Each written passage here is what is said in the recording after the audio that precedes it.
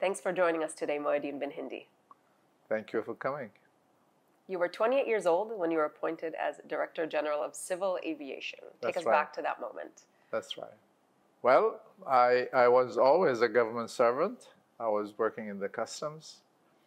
And then, uh, for some reason, uh, I was promoted to be the Director General of Civil Aviation, which shook me a bit, but I took the challenge. The way His Highness, the present ruler, Sheikh Mohammed, does is he watches the person, he aims that he is going to be good here or there or there, and that's how he supports them. And without support, it's difficult to go up the ladder. So, 28 years old, you received this decree. I understand it, it was an envelope waiting on your desk, Correct. That's right. Letting you know that you're the man in charge to be taking the airport to the next level, to build a modern international standard airport. Well, and that was the purpose of putting me in that in that position. I was very uh, taken away by the by the decree that was. Uh, however, I mean, I always uh, loved challenges, and I went to departments where to learn their uh, profession, and I made it very clear: I'm here to serve everyone, and work together as a team because no one in the world can do a job by himself. It's a team. Not a lot of people have the perspective of seeing the airport then and now, the old and the new. Well, when I worked at the airport in the customs, we had just one shed on a long table. And people used to come. There were no air bridges. There were a couple of airlines that used to fly in here. They would come. If the custom officer would ask him to open his bag, he would put it on that table and he would open it and just formalities, wish him, you know, good luck, thank you, and that was it. So once we finished from the airport, we used to lock the airport, and the key will be with me one and with the uh, security people one. That's how small, simple. But the efficiency was at that time also good for that time.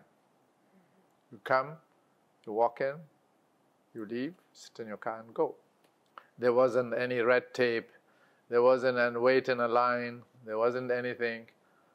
And there was an open sky policy from that time. And you know what open sky policy is. Any airline, any country can fly into Dubai airport. And that was one of the assets that made us, if you see all other airports would uh, protect their national carrier. And that's where everybody were, were surprised when Emirates Airline was started its flights. They had no protection.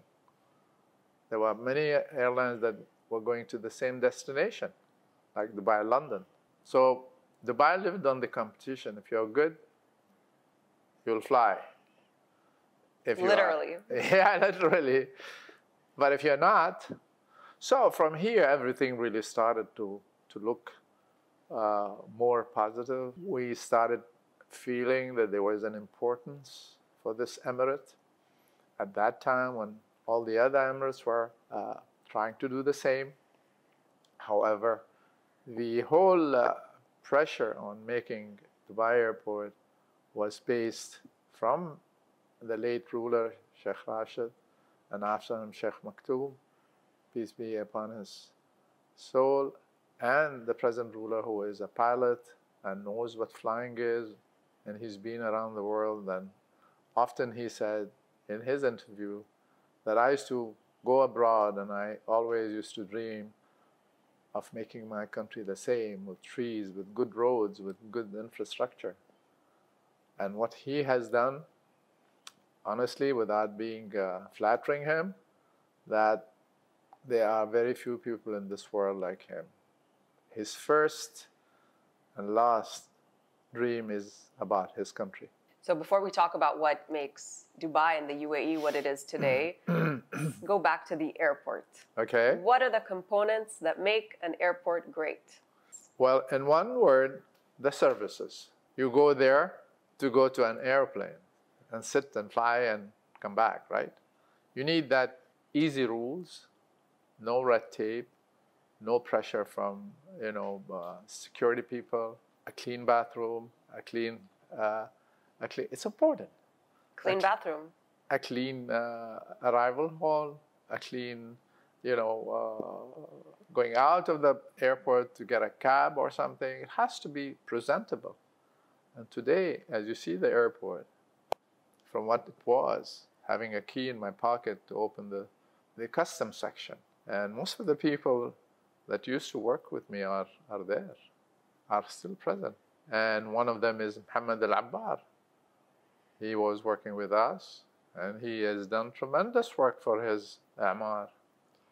And there are so many youngsters today and then who really had the capability and they gave everything they had for the government and for the job that they were doing.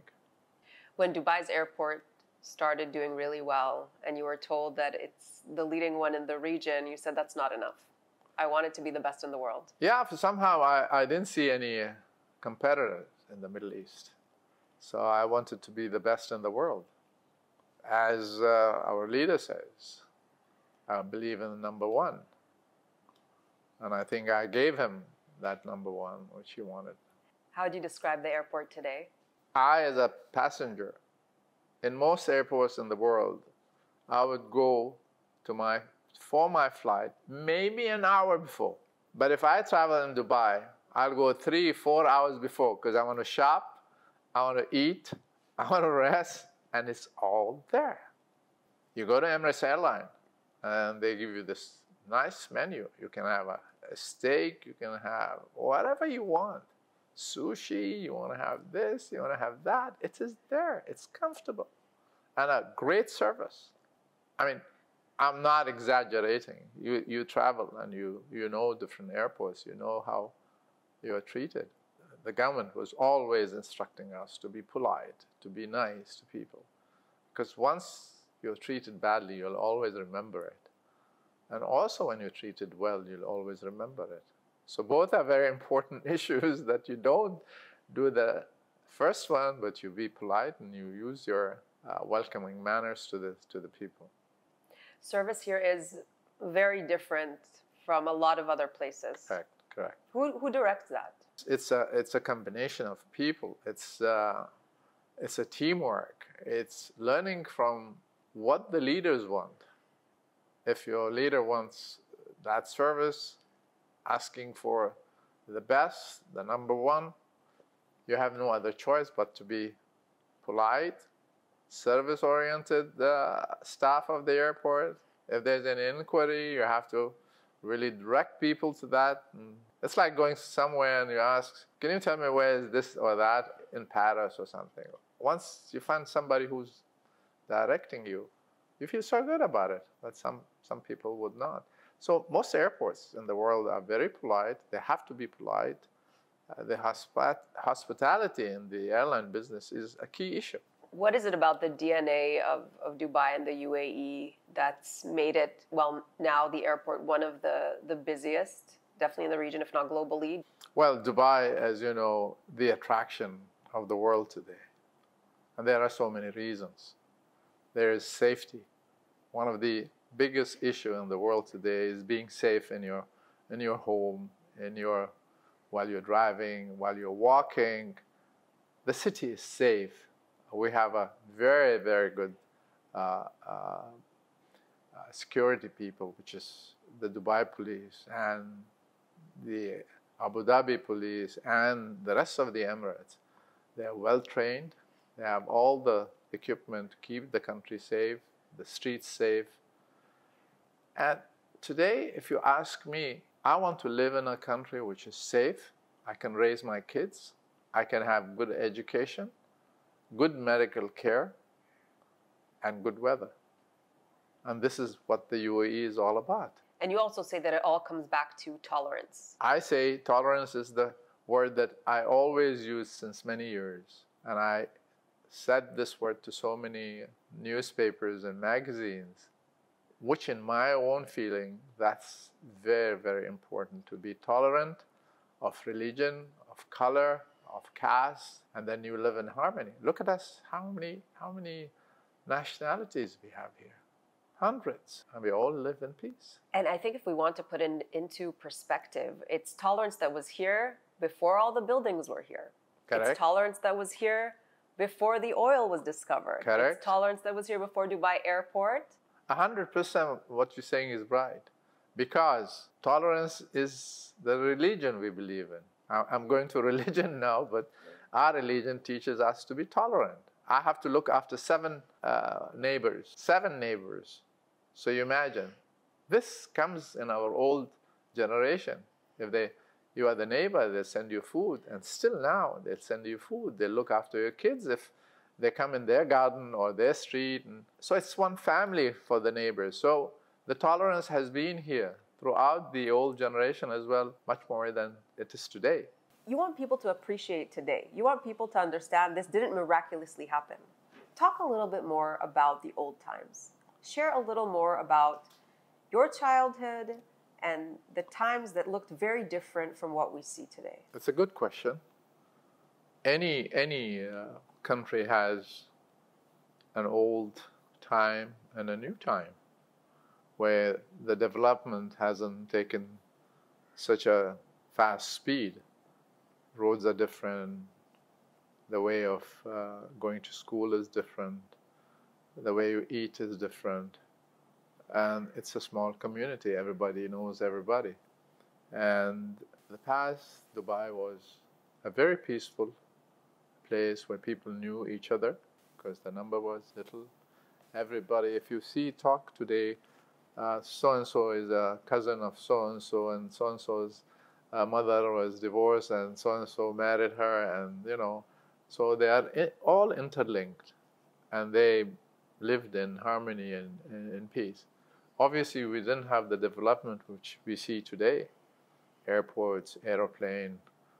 I remember late Sheikh Hamdan, uh, peace be upon his soul, he told us a story about a man who went on a camel to long time ago to do his pilgrim- pilgrimage in, in, in Mecca. Took six months to go and six months to come. So these are the hardships that people used to face in the olden days. That was not my era, but things were different. We didn't have big supermarkets. We had small garages, as they call it. We used to buy from them. There was a fish market, small, and vegetable market, small in Deira. And life was very, very simple.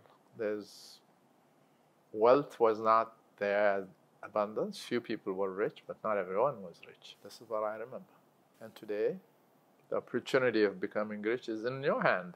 In your hand means everyone is responsible. He can go and work hard, work smart.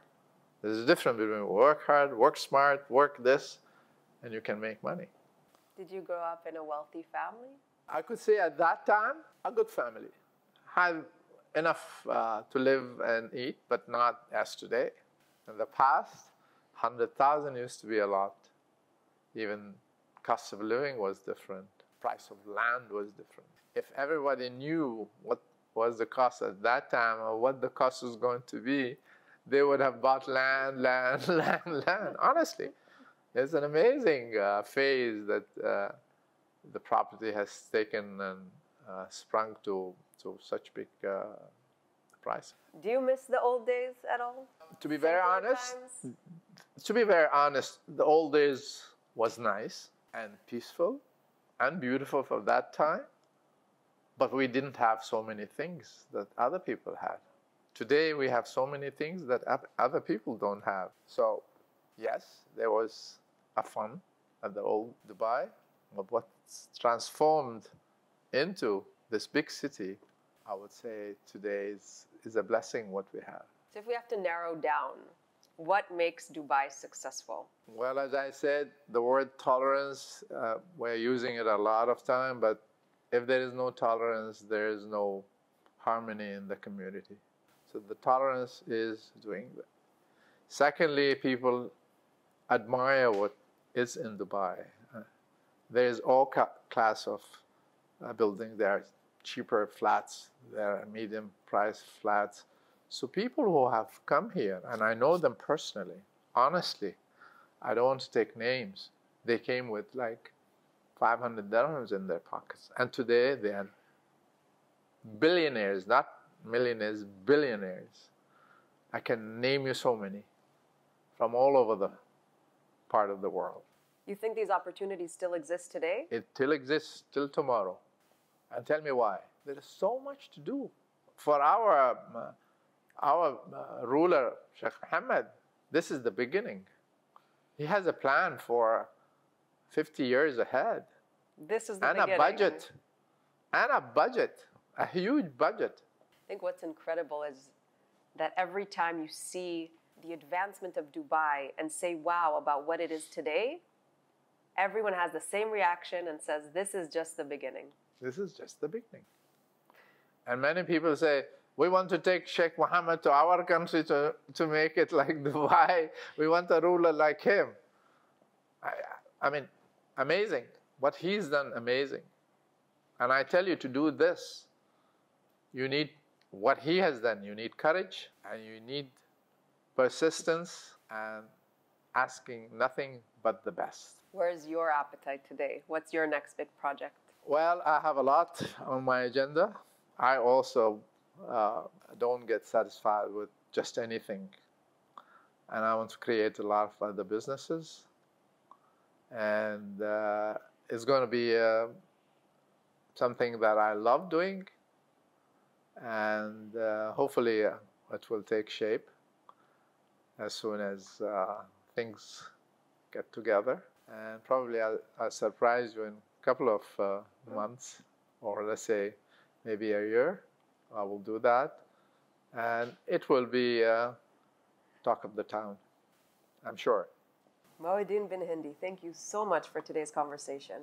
Thank you very much for you. It's a pleasure meeting you and a pleasure sitting here talking to you about the past.